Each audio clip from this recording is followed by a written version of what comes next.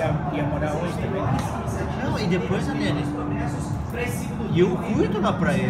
Até a minha presença lá é